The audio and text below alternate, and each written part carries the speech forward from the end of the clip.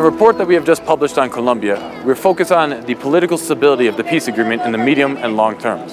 We begin by focusing on the October 2nd plebiscite result in which the peace agreement was rejected by less than one half of 1%. From there, we focus on the renegotiation process between the opposition, between the government, and between the FARC. We find that we do have a new peace agreement with many of the issues argued by the opposition changed in the new text. We find that nonetheless, despite having a new peace agreement with those changes, this accord lacks the political legitimacy to be able to be implemented in the medium long term, especially if the opposition comes to power in 2018.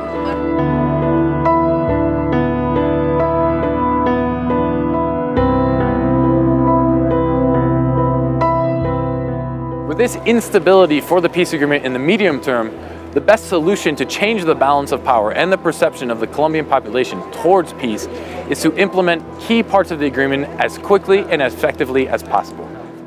Most importantly, the FARC's arms abandonment process has to go well. Or the opposition and the Colombian population could argue that they really don't have an interest in peace. With congressional and presidential elections taking place in 2018, peace with the FARC yet again will be the main issue discussed during political campaigns.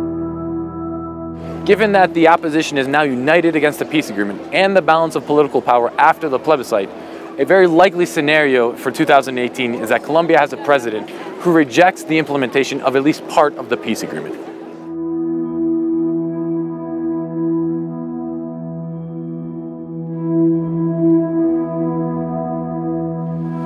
The communication strategy regarding the FARC arms abandonment process will also have to be adjusted according to the new political reality. This will mean that the FARC will have to consider showing images of guerrilla fighters handing over their weapons in order to convince the Colombian population that they are actually fulfilling their part of the agreement which they themselves negotiated.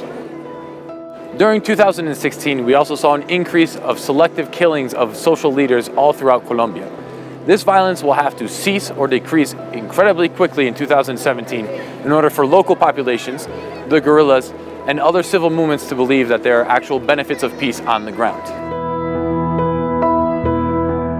Transitional justice mechanisms will also be an important part of the debate in 2017. Given the structure of the special jurisdiction for peace, it likely will not hear any cases at all in the next year. Nonetheless, other parts of the Transitional Justice Agreement regarding victims of the disappeared, the Truth Commission as well, will need to be up and running fairly quickly to show the Colombian population that victims are still a central part of this peace agreement and that the FARC and other violators of human rights will see justice in some way and tell the truth.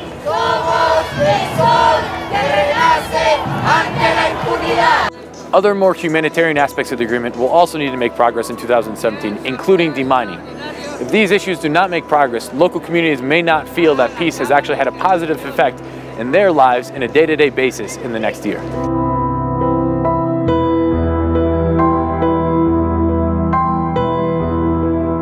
Finally, the Colombian state is in a bit of a financial crisis. A decrease in revenues from oil production has meant that budgets have had to be cut across the board. Therefore, its financial capacity to pay for the reforms, to pay for the implementation of the agreement, is quite limited. The international community has stepped up, but so far the relationship between the government and the international community and how money will be spent has been strained.